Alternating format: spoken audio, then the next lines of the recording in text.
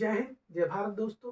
M pre exam रामबाण श्रृंखला में हमारा अगला पड़ाव है एमपी के चर्चित व्यक्तित्व और उनके वास्तविक नाम। व्यक्ति के चर्चित नाम कुछ और होते हैं जबकि उनका यथार्थ नाम कुछ और होता है। जैसे अभिनेता दिलीप कुमार की बात कर लें तो उनका वास्तविक नाम यूसुफ खान है। अभिनेता अक्षय कुमार की बात कर लें तो उनका वास्तविक नाम राजीव भाटिया है। अगर बात कर लें हम संगीत के क्षेत्र में तानसेन की तो आपको मानकर, जानकर बड़ा आश्चर्य होगा कि ये तानसेन ब्राह्मण थे, पांडे थे और इनका नाम बाद में इन्होंने इस्लाम स्वीकार कर लिया था, लेकिन ये मूलतः ब्राह्मण थे और इनका नाम था रामतनु पांडे। ये वास्तविक नाम और चर्चित नाम की, कहते हैं, सीरीज़ में, श्रृंखला में हम इस पड़ाव को लेके इसलिए आए हैं क्योंकि एमपीपीएससी ने 2020 में दो व्यक्तियों के वास्तविक नाम पूछे थे।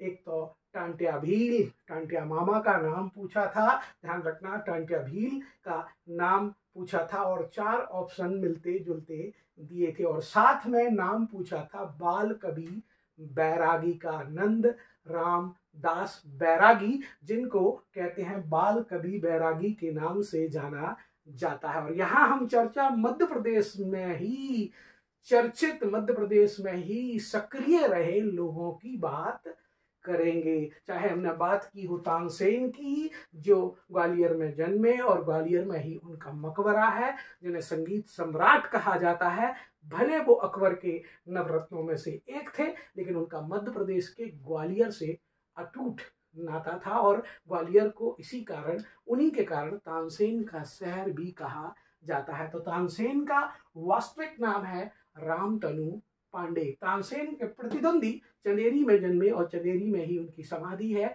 बेजू बाबरा ध्रुपद गायन शैली में श्रेष्ठ थे और ये तानसेन के प्रतिद्वंदी थे। इनका वास्तविक नाम है बैजनाथ मिश्र। ध्यान रखना, बैजनाथ मिश्र ये हिंदू थे। बैजनाथ मिश्र इसलिए इनकी समाधि चंदेरी में है। ध्यान रखना, मुस्लिम में मकबरा होगा और हिंदुओं में होगी समाधि तो इनकी समाधि चंदेरी में है और इनका वास्तविक नाम बैजनाथ मिश्र था। किसी के प्रेम में ये बाबरे हो गए थे, इसलिए इनका नाम पड़ गया था बेजू बाबरा ध्यान रखना, बेजू बाबरा एक और चर्चित व्यक्ति मध्य प्रदेश में, कहते हैं संगीत के क्षेत्र का कबीर जिन्हें कहा जाता है, वो कुमार गंधर्व।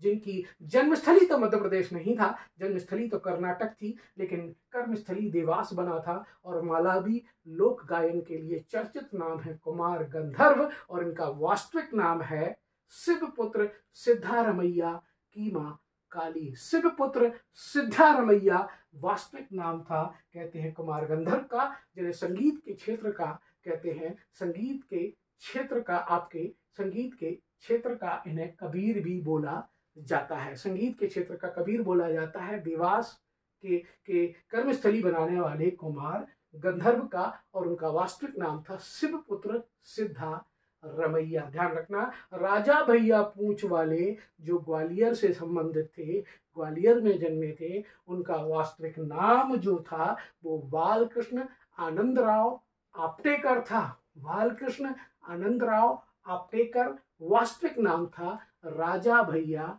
पूछ बाले का। ध्यान रखना, एक व्यक्ति की बात और कर लेते हैं। महियर में, सतना के महियर में सक्रिय महियर बैंड बनाने बनाने वाले सरोद बादक संगीत के क्षेत्र में पंडित रविशंकर को शिक्षा देने वाले, जिन पंडित रविशंकर को सितार वादन के लिए भारत रत्न मिला, वो उनके गुरु उस्ताद अलाउद्दीन खां, जिनका नाम महियर से बहुत जुड़ता है। उनके बचपन का नाम आलम था। हालाँकि इनकी जन्मस्थली भी त्रिपुरा, भारत के नॉर्थ ईस्ट का एक राज्य त्रिपुरा था, लेकिन इनकी कर्मस्थली थी मध्य प्रदेश के सतना का महियर ध्यान रखना महियर में आपके कर्मस्थली बनाने वाले अलाउद्दीन खां का वास्तविक नाम था आलम। अगर संगीत की बात कर रहे हैं तो ए मेरे वतन के लोगों, जरा आँख में भर लो पानी, ध्यान रखना। ए मेरे वतन के लोगों एक गीत जो उन्नीस के समय इंडो चाइना वार के समय बहुत चर्चित हुआ था,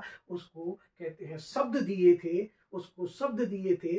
मध्य प्रदेश के उज्जैन बड़नगर में जन्मे एक व्यक्ति कवि प्रदीप ने और जिनका नाम, वास्तविक नाम रामचंद्र द्विवेदी है, ध्यान रखना। रामचंद्र द्विवेदी वास्तविक नाम है कवि प्रदीप का और कहते हैं इस गाने को, इस कहते हैं शब्दों को स्वर अगर किसी किसी ने दिए थे तो वो थी लता मंगेशकर। और लता मंगेशकर का वास्तविक नाम भी लता मंगेशकर नहीं है, वो उनका चर्चित नाम है, उनका वास्तविक नाम हेमा मंगेशकर है। और ये मध्य प्रदेश के इंदौर में जन्मी थी। तो ये थे मध्य प्रदेश के संगीत के क्षेत्र के कुछ चर्चित व्यक्तित्व और उनके वास्तविक नाम। जय हिंद, जय भारत दोस्तों।